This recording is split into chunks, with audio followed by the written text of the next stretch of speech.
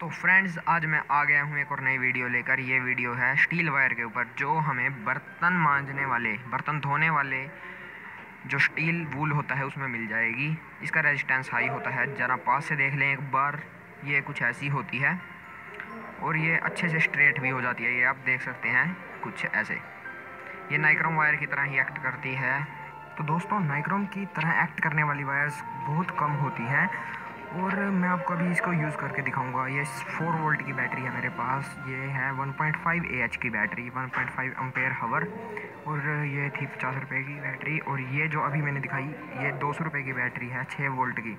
ये आप किसी भी इलेक्ट्रॉनिक शॉप से मंगा सकते हैं। और लिंक मैं डिस्क्रिप्शन में थोड़ी देर में दे दूँगा, यानी कि दो दिन बाद। हम इसको फोम कटर में भी यूज़ करते हैं। स्टील वायर होती है जौन सी हमारी।